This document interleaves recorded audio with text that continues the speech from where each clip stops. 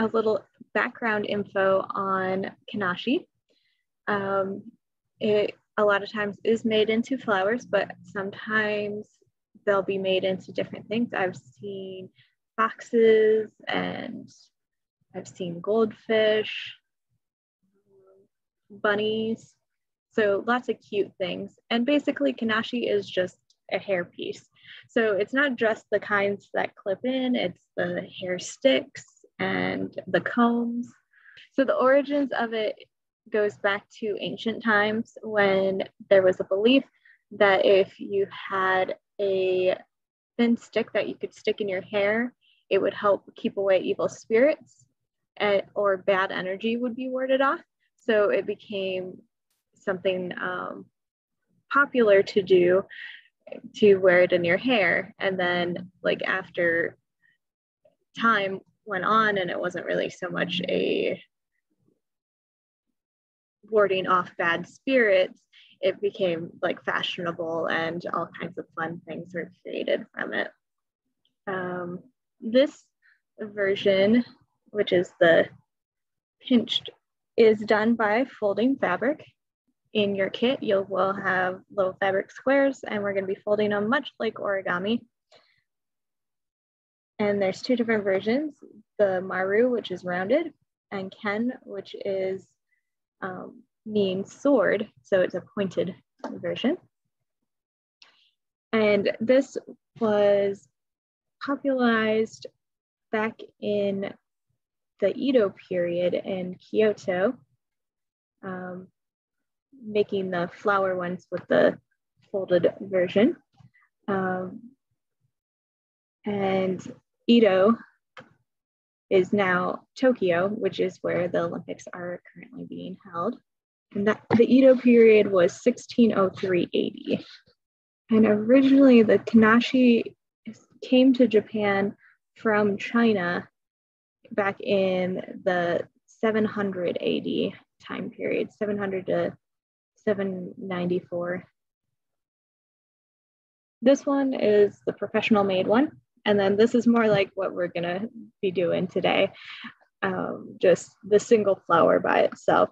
But if you ever look up the Kanzashi online, you can find very large pieces.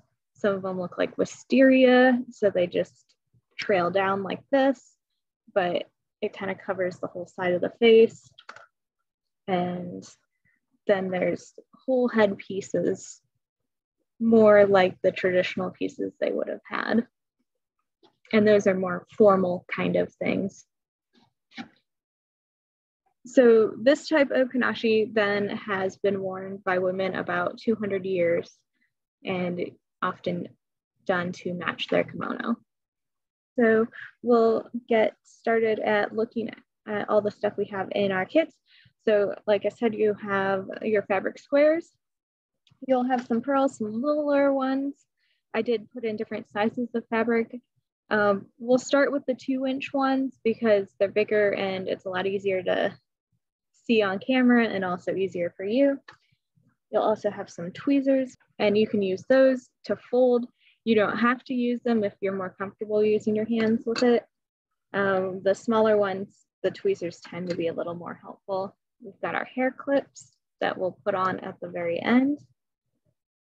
You should have some thread in there and a needle. And then we also have the bigger pearls too. So yeah, here's the really small ones.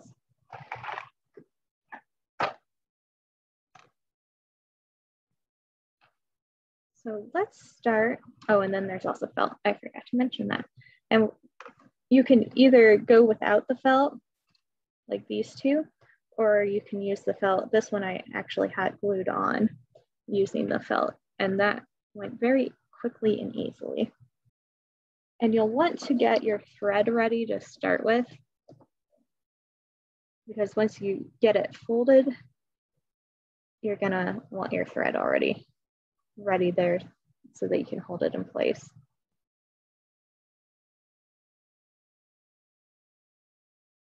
Mm. And if you're having trouble threading it like I was, I'm cutting it at a 45 degree angle so that I get a point in my thread.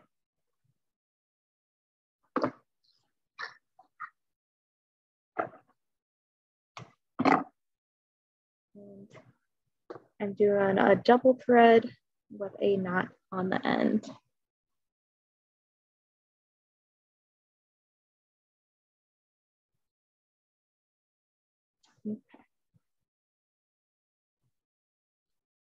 So now that I have my thread ready, I can start doing the folding. And I'll show with the tweezers and I'll show without. So you'll fold it in half triangular ways diagonally. And then you're gonna fold it in half again, meeting up your raw edges to make another triangle. And then, so we're doing the rounded, which is this one. And I have a single petal there. We're gonna take outside edge and put it up to the top. And then you also take your back one and put it to the top. So I just do them both at the same time. It's a lot easier and it'll look like that. Now you can hold that bottom point where they all meet and just kind of adjust it to make that rounded. So I just kind of pushed in that center area. You can also shape it more once we've put all the pieces together because it'll lose some of the shape. Now at this point, you'll pick up your thread that you got ready and just sew into it. And you can just do a single stitch to hold it in place until we're ready to sew them all together. And then I'm gonna tie it off with a knot.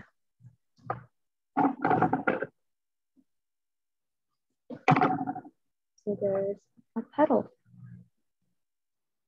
And then I'm gonna get this ready again for my next one. And I'll show this one without the tweezers. So I'm gonna fold it diagonally. Taking my right corner to my left corner.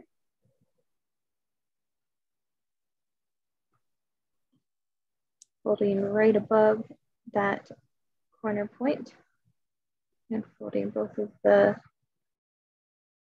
bottom edges to the top point.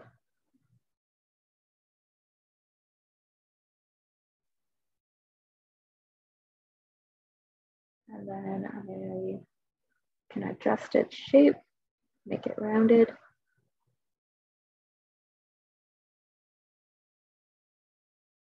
And so into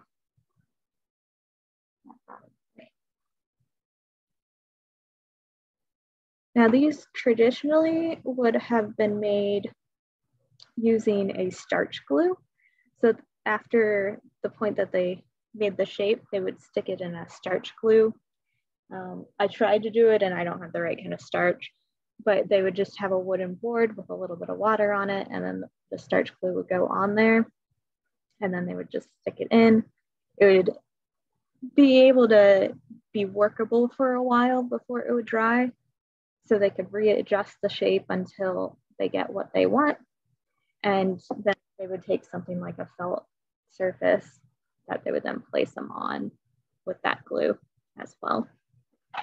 Um, and to be a professional kanzashi maker, and this would include all of the different styles along with this style. Uh, it takes about 10 years to master. And I watched a documentary, it was a 2019 documentary that they only have five recognized master craftsman kanzashi artists in Japan.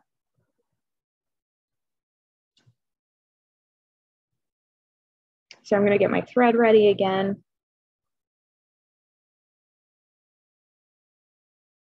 and make my next petal. You'll want to do five of them. That makes a pretty good flower shape.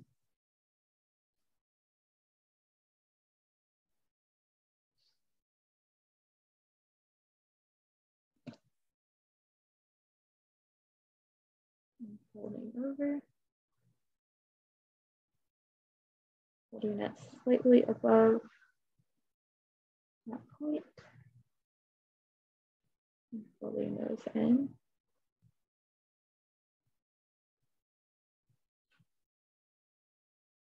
Adjusting my shape.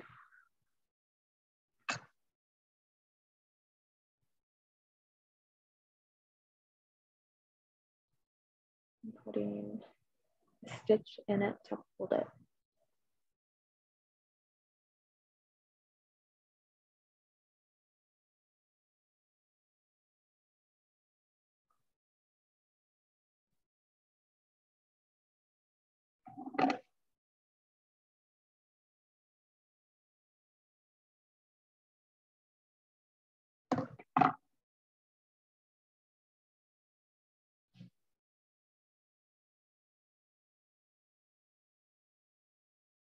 And then I want to get my thread ready again.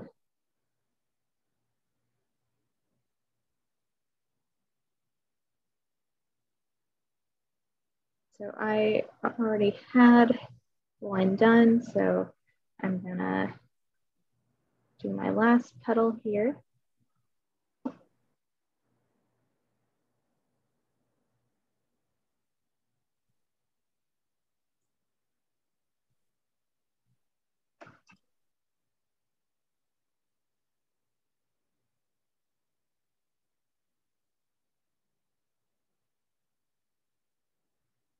Oh, and I didn't adjust my shape.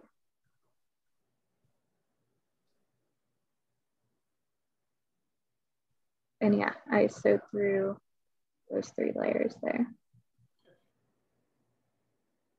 After we sew them together, we'll be sewing the bottom like this. And I'll be showing that.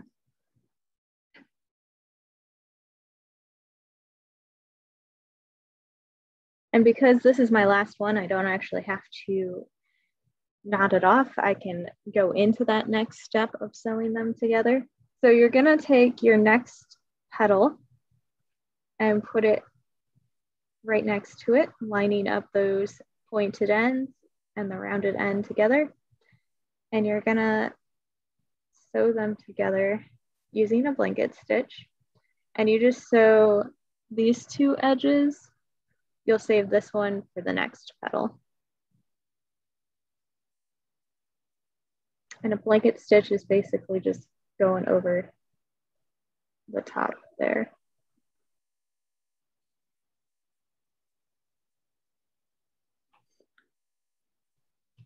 So you're always sewing from whichever side you're, you decided to sew on, if you've got it facing towards you or if you've got it facing away.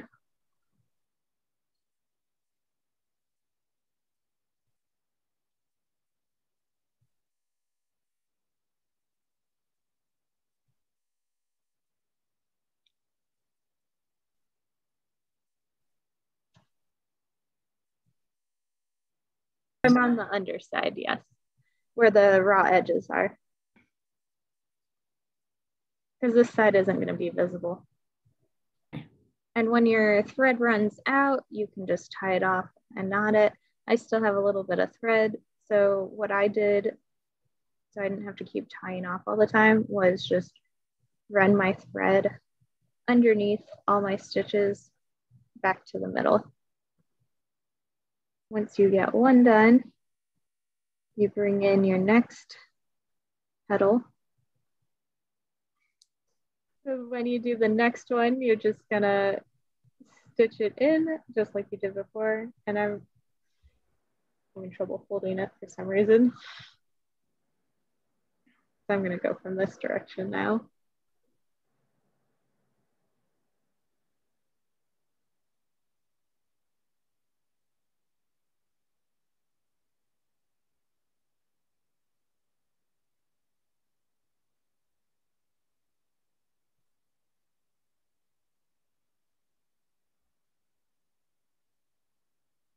I can get any farther, so I'm gonna have to tie this off. And I'm just gonna pick up where I left off.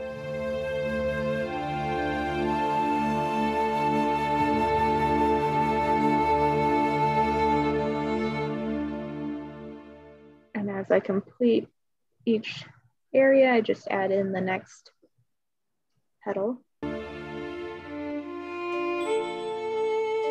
And the one that I have here that was professionally made, this one was actually done with what either was hot glue or a craft glue.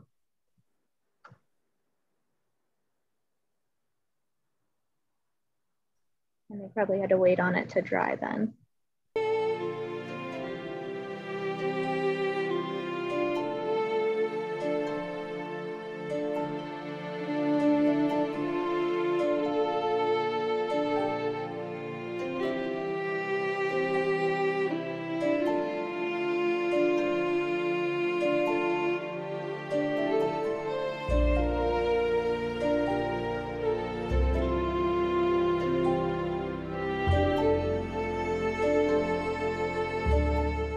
When you get all your petals on there, you'll just take and sew up the last one, just like you did for all the rest of them, so that it makes a complete loop of them.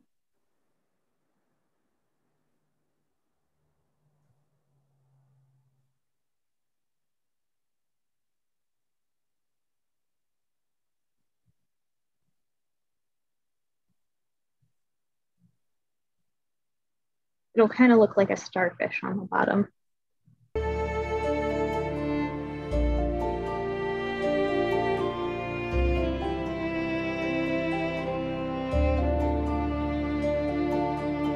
So then after you finish sewing it, you can leave your thread on still at this point because we can sew our pearls on but I would go around and trim any extra strings that might be around that you don't want sticking out. And this step you can also wait until later to do. You could also choose to not sew on a pearl. Instead, you could hot glue it. Um, you could also put other kinds of things in the middle, buttons, gems. Also, after you've finished sewing, you can kind of shape it a little more into what you want it to be. Get those rounded edges. And then you can also sew this on, or you can use hot glue to hold it on. I did find sewing it on a little difficult just because I had to hold this up while stitching it, but it is possible. So you'll just take it right up through the middle so that the string's sticking out of the middle. And you can just go right through the pearl. They already have holes in them. And stitch back down through the middle And you might want to do a second time through just to make sure it's secure.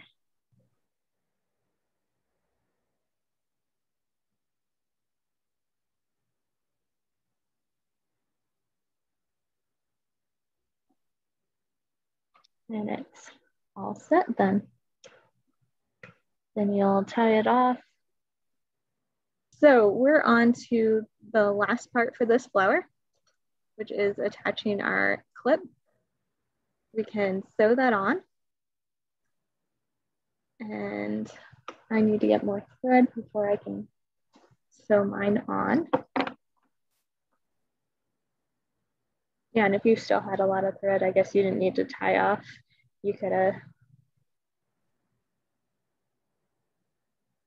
just went into sewing from there.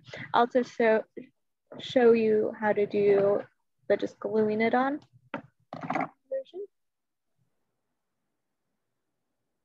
And that's what the felt's for if you're gonna do the gluing.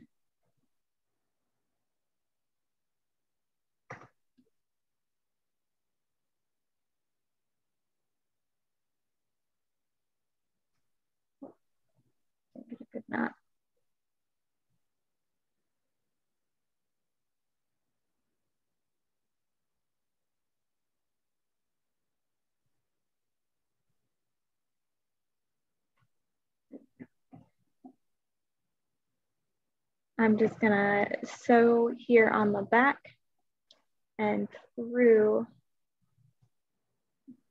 the hole in the clip. You only wanna sew on one side so you can actually open it.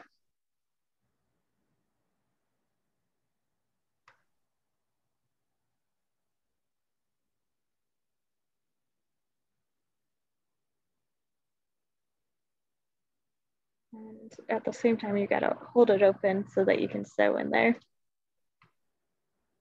That's why it's a little difficult. I found the best way to do it is just to do a couple stitches in one spot. Hold it in place.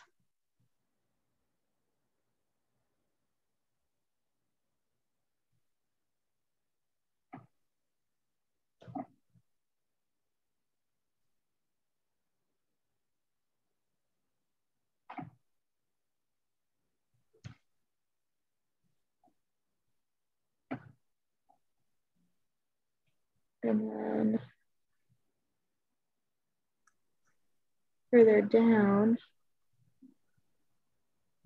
I want to stitch it so it doesn't just slide around. So I'm going to stitch it here on the end as well. And I'll show the hot glue and felt version with our next one. Because we'll do the Ken folding next.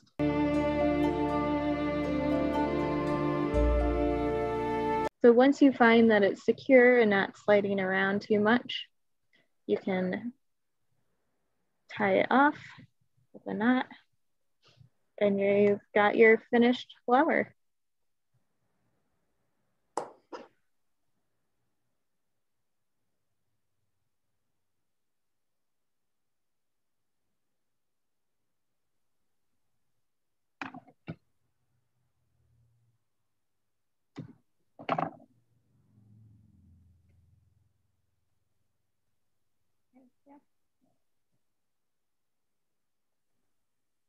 And if you want to, you can go back and kind of reshape them if you kind of squished it while sewing like I did. It'd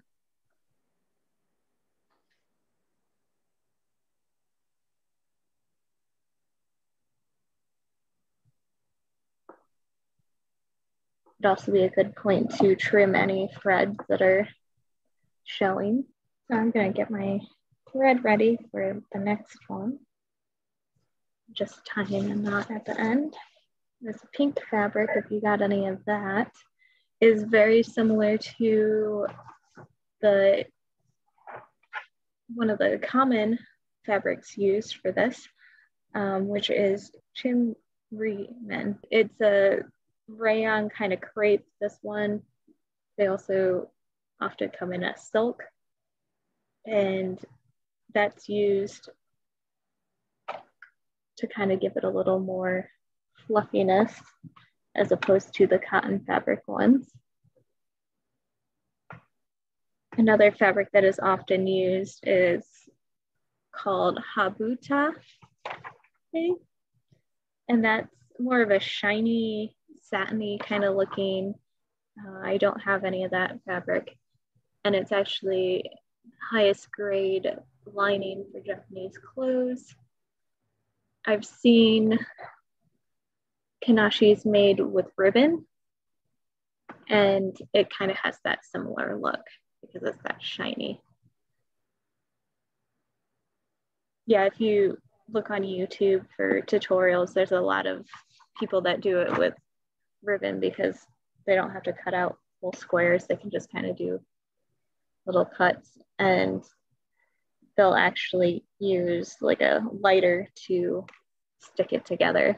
So this one is the Ken folding technique and it is the same for the first two steps. So you just fold it in half diagonally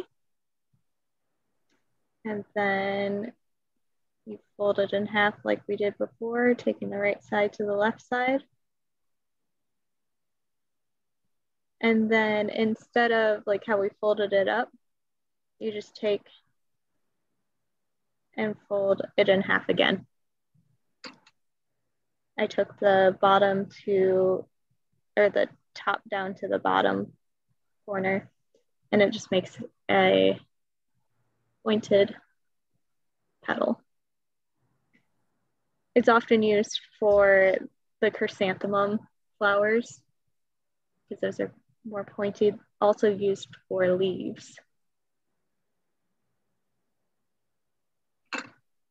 And then when like they make more of shapes like the goldfish, bunny and fox and that, it's usually made with the pointed ones to form a shape. So then after you get it folded, we're just gonna sew that bottom corner again.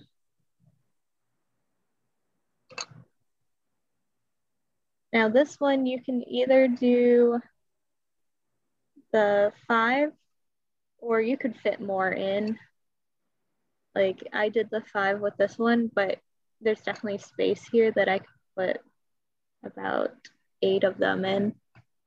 It depends on how full you want your flower to be.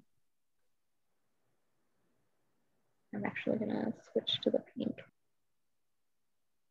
So folding in half, folding over to the right, and then folding just a third time.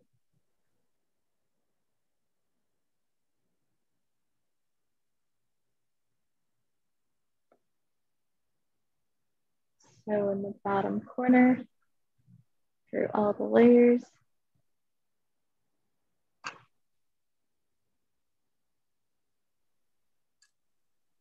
And tie it up. I'm gonna do eight to see how that looks with that many together.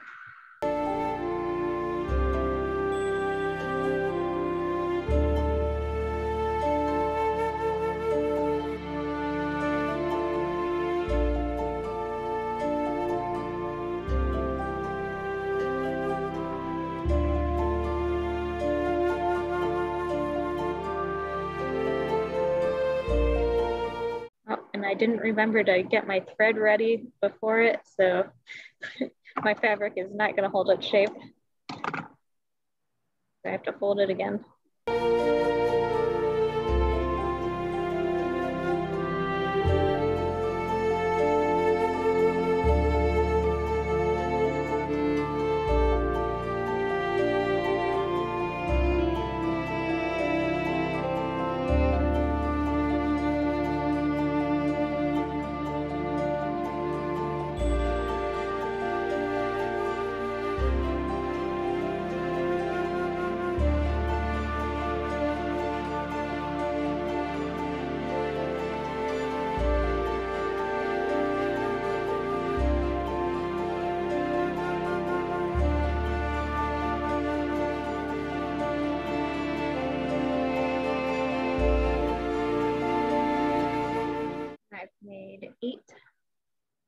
Uh, of these.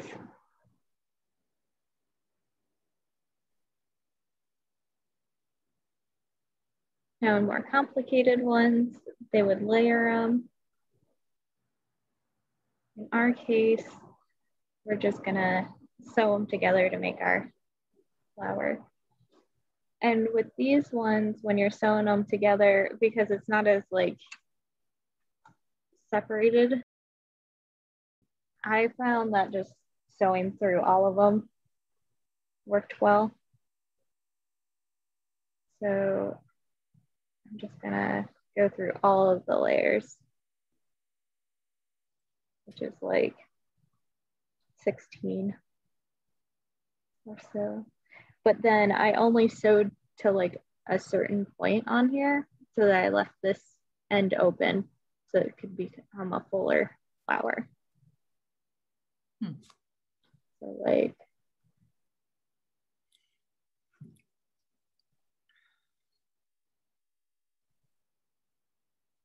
I'm gonna sew them together oh. that way.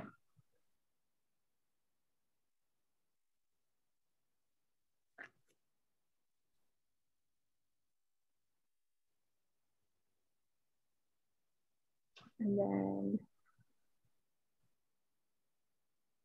towards the middle of mm-hmm. sewing them together, then I just sewed the eight together. Oh, okay. Because it was just so narrow that it was hard to separate the two.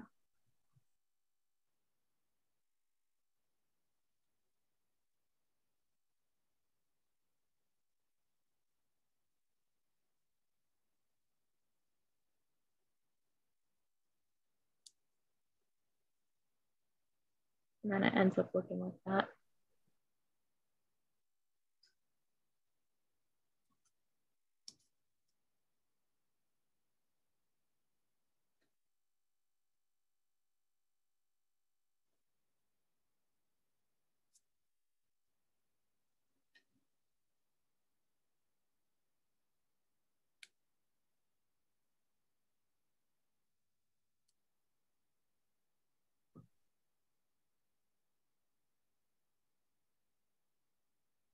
And then the next one, we added on, I just sewed into, again, that like half area. And it was about through all 16, not so much through that one. So I kind of looked at where the middle is right here. Just at least for the first couple of stitches so that it, I could get then to the middle part here.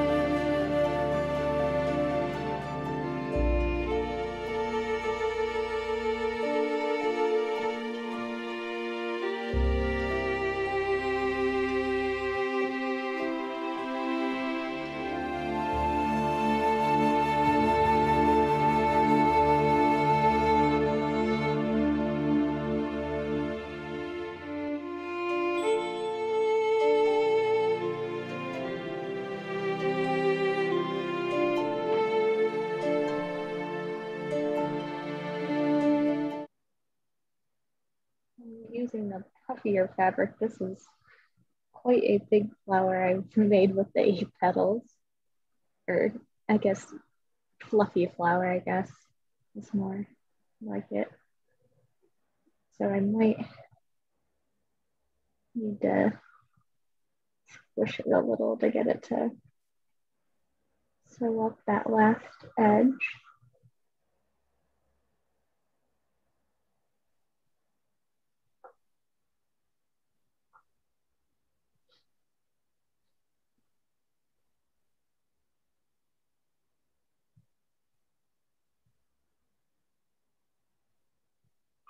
I'm gonna really make sure to tighten my last stitches to get that in there. So I can sew them all together.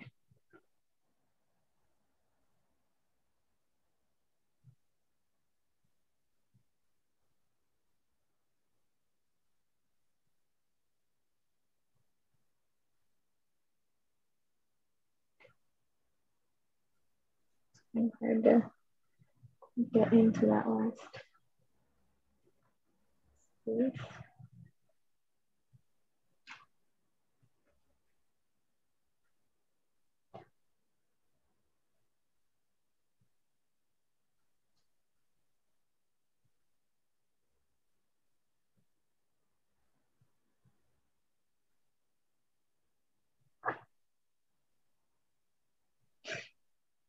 So mine has quite a bit of like extra corner area in here. So I'm gonna pull it in a little bit by just stitching down into it. And also I have one that I missed a layer, so it's kind of sticking out really bad. So what I'm gonna do for that go up into that area tuck it in and stitch that tuck into place.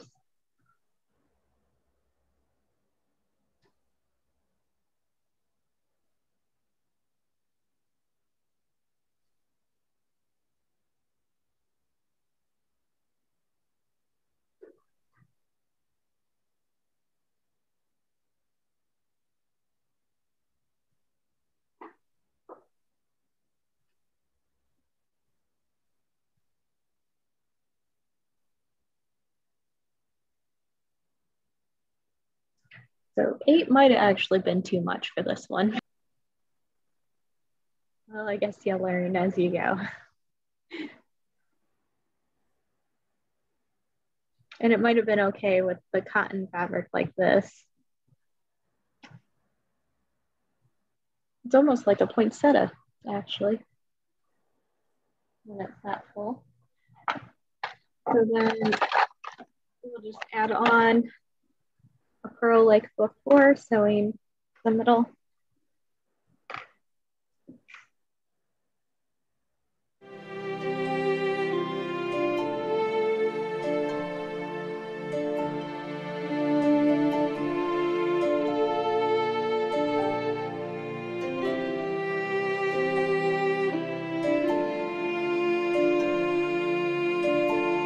So when you're ready to start gluing on the back, You'll take some of the felt and it's any color you want. It's going to be on the back, so you're not really going to see it. Where's the one that I did that with? And cut out a circle that would fit the back that's not too big that it's hanging over, but not super small that there's not much to hold the pin on with. So that's actually a little big.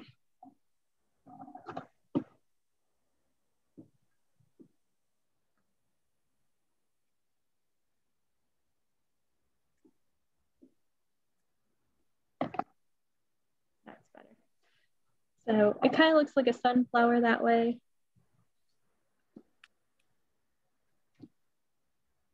And then we're gonna glue on here. And we'll also glue on the back of the flower. I've got my hot glue.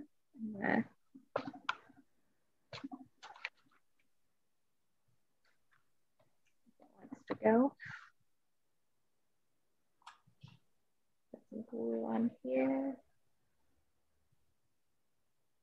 And then some glue around here. Mine's very hot, so I don't have to be in a super rush about it. And then